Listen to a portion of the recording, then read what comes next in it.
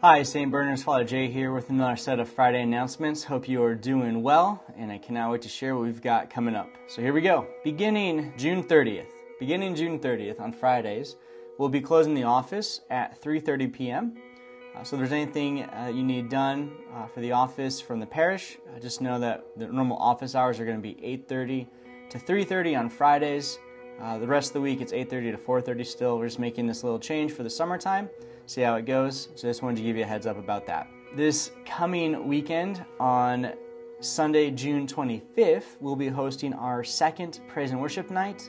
I'm really excited about this. I really hope a lot of people uh, put this on their calendar and make an effort to come out. It's at 7 p.m. It's going to be in the church. It's just a time for us to offer worship to the Lord through song. So if you haven't been, please come, invite some friends. If you have, let them know about it and come back. We'd love to have you.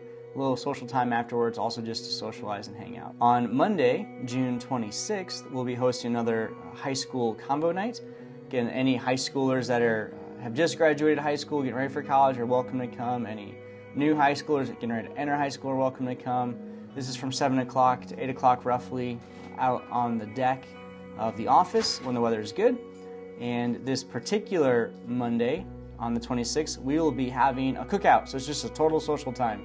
So if you can come, please RSVP to the parish office, uh, and that number is down below. Sunday, June 25th, summer formation continues. This is right after the morning mass. Uh, it's been a great series so far. Again, if you've been to them, wonderful. If not, you're welcome to pop in at any time. Uh, there's also going to be some snackage, so that's helpful as well. So join us June 25th after Mass for the Summer Formation series. And then just looking forward to July, uh, reminder that July 1st is a Saturday. That'll be our first Saturday, so we'll have Mass and confessions in the morning.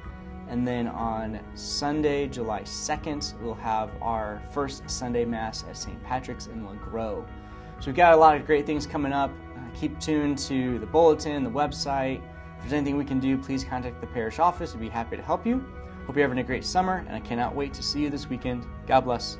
Bye.